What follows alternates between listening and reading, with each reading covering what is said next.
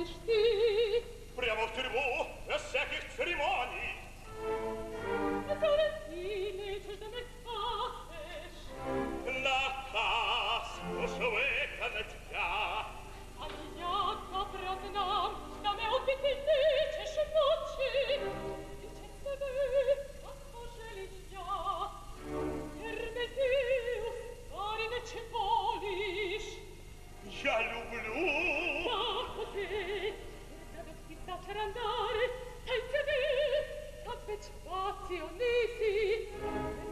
wieder